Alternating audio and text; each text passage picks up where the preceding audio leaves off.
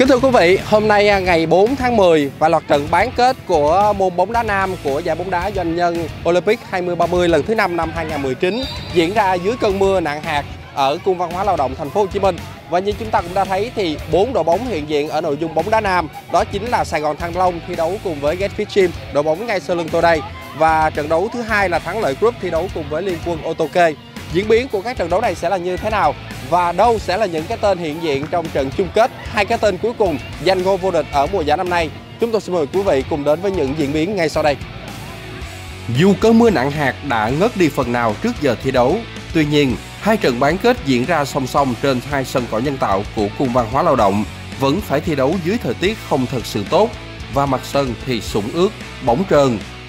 Ấy vậy, đó cũng không phải là rào cản lớn cho sự quyết tâm của cả Sài Gòn Thăng Long, Getfish Gym, Thắng Lợi Group hay Liên quân Otoke FC để họ tìm kiếm cho mình tấm vé vào đến trận chung kết của bóng đá nam Cúp Thắng Lợi Group tại kỳ Olympic 2030 lần 5 năm 2019. Trong trang phục màu đen kể từ đầu giải, Sài Gòn Thăng Long tiếp tục thể hiện lối chơi thuyết phục tương tự như các trận đấu của vòng bảng hay tứ kết. Họ liên tiếp ghi 5 bàn thắng trong thời gian của hiệp 1 và đầu hiệp 2. Dù Getfish Gym có bàn rút ngắn xuống còn 1 năm, nhưng bấy nhiêu cũng là những gì mà Getfish Gym có thể làm trước khi Sài Gòn Thăng Long ấn định chiến thắng 6-1, ghi tên mình vào trận chung kết.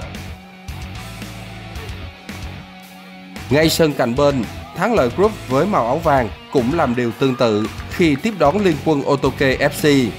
Thắng lợi Group liên tiếp ghi 5 bàn, chính thức đánh sập tham vọng tìm kiếm tấm vé vào chung kết của Otoke.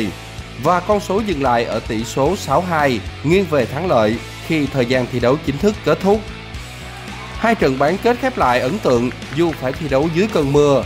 Tỷ số của cả hai trận khiến người ta nghĩ đến những ván đấu tennis Sài Gòn Thăng Long, Getfish Gym 6-1, thắng lợi Group Liên quân Otoke FC 6-2. Như vậy, trận chung kết bóng đá nam sẽ là cuộc đối đầu giữa Sài Gòn Thăng Long và Thắng Lợi Group vào ngày 9 tháng 10 trên sân Cung văn hóa lao động, trong khi Getfit Gym cùng Liên quân Otoke tranh hạng 3 chung cuộc.